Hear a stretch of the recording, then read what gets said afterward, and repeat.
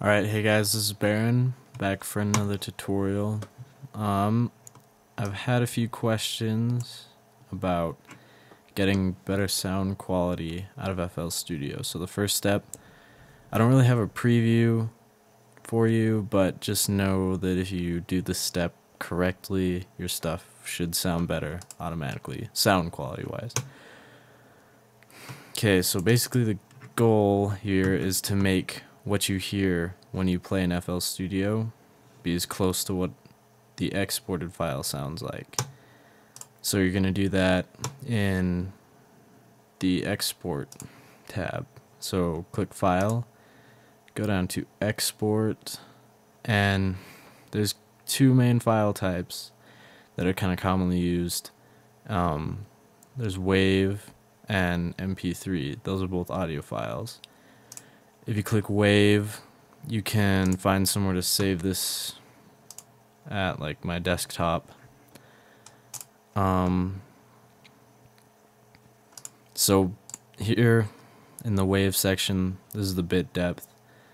The less bits you have, the lower quality your recording is going to be. The more bits you have, the higher quality it's going to be. Okay, so if you wanted the highest quality wave possible, you would click 32-bit float. Now, for most people, when they first open FL Studio or they first start using it, um, in this quality section right here, it's automatically set to linear or 6 point Hermite or one of these lower settings. Now, if you look in the top left corner over here, it tells you the quality and about how long it's going to take to export these.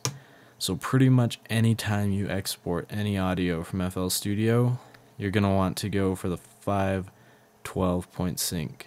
So the 512 point sinc. You click that, it'll give you this warning, um, which you're going to have to ignore. But this is going to make a huge difference in your sound quality. All right, and make sure you have HQ for all plugins checked. Okay. Now that's for a wave. An MP3 is basically the same. You're going to go up to the File tab, go Export, hit MP3, find a place to save it at. Okay, now when you're on the MP3 mode, this wave box here doesn't matter. You need to go down to this MP3 slash OGG box. Now, if you're buying MP3s off of Beatport, they come as 320 kilobytes per second files as the bitrate.